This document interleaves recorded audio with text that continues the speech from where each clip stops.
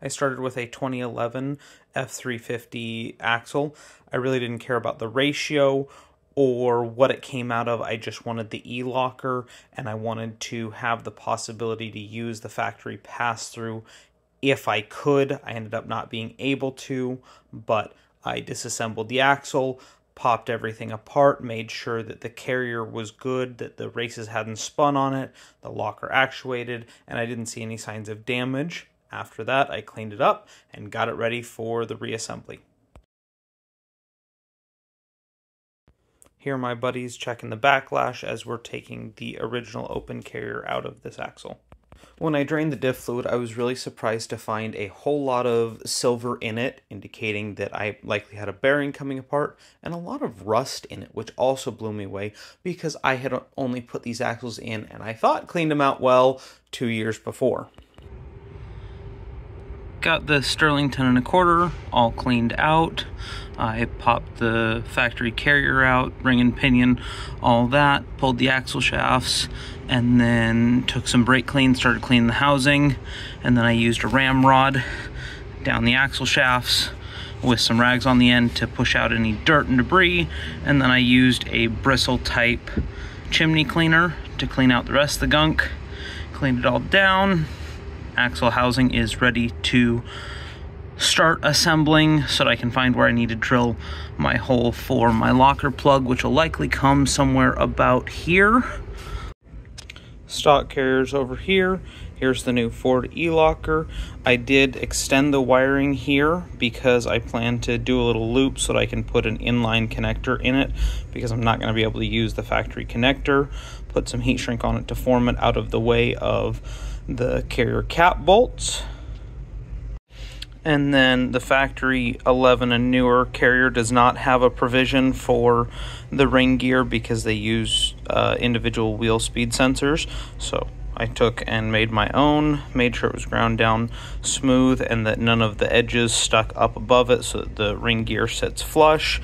And this is actually a little deeper so that there's room for the tone ring to move in order to be square to everything.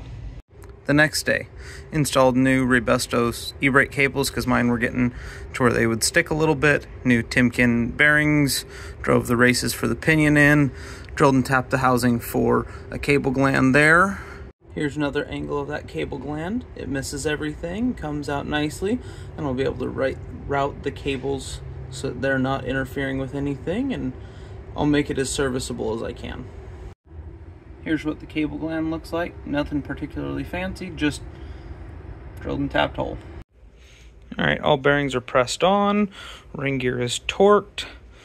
Getting ready to go back in here soon.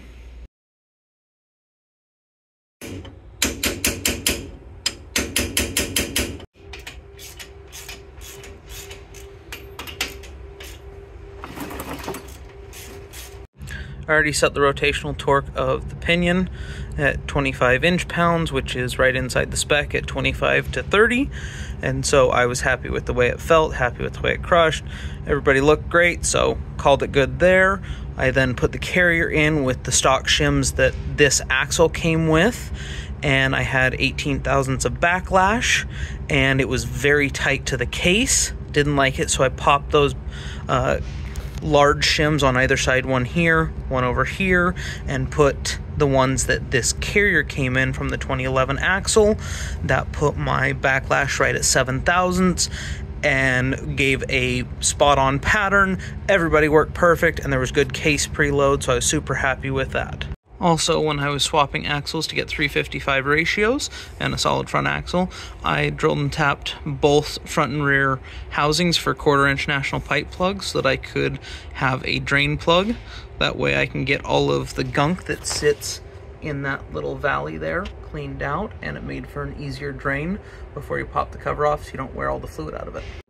As I'm sliding the axle shafts in, I'm gonna make sure and loop my O-ring here so that it doesn't cut on the way in and then I'm going to use my finger to fill this up with at least a little bit of gear lube so that the bearings do not start dry even though there's some oil in them I'm still going to try and hedge my bets to make sure that they have plenty of oil until the ring gear over there can fling up enough oil to work down the axle tubes to get in here Used a piece of heat shrink to make sure that sealed up nicely to it. And that's all threaded into here. Kept away from everybody, all the moving parts and all that. Pretty happy with the outcome.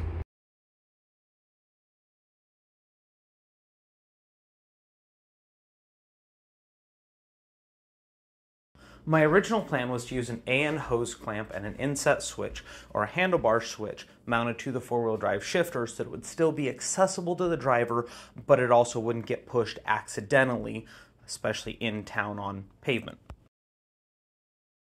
This is the cable gland that I used since I was unable to use the factory pass-through due to clearance issues between the housing and the ring gear. It had put the wires too close to the bolts, might have rubbed through them.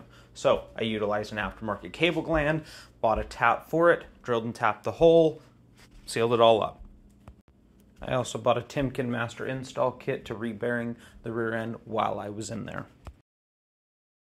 I went with a used rear axle because my goal with this was to try and do it as cheaply as I possibly could. My hope was to be able to do a rear e-locker and a rebearing kit for the same price as a new Ford e-locker, which is still very cheap at about $570.